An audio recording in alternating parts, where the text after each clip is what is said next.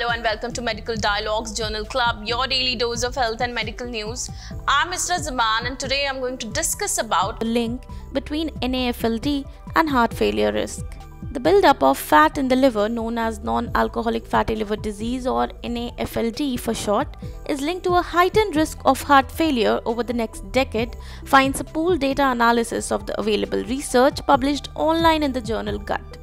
Recently published studies have implicated NAFLD in the development of heart failure when the heart is unable to pump sufficient quantities of blood around the body.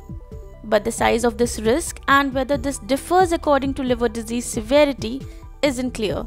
To try and find out, the researchers pooled the results of 11 long term international observational studies published up to March 2022.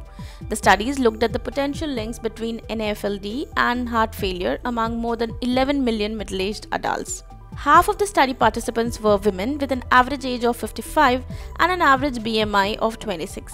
A BMI between 18.5 and 24.9 indicates a healthy weight, 25 and 29.9 indicates overweight, and a BMI of 30 and above indicates obesity.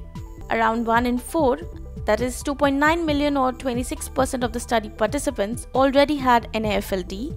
Heart failure was diagnosed in 97,716 during an average monitoring period of 10 years. Pool data analysis of the results of all 11 studies showed that the presence of NAFLD was associated with a 50% heightened risk of developing heart failure during the monitoring period. This was irrespective of age, sex, body fat, diabetes, high blood pressure, ethnicity, and other common cardiovascular risk factors.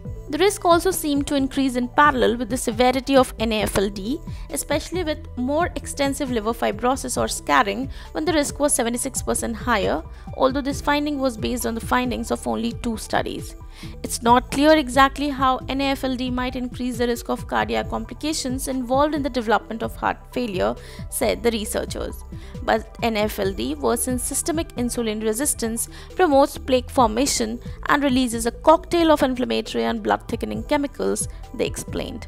And new diabetes drugs, which lower blood glucose, seem to have some favorable effects on the risk of hospital admission for heart failure, the researchers added. That's all for today. Stay tuned to Medical Dialogues for latest updates. Never miss a medical update from Medical Dialogues. Like, subscribe, and press the bell icon.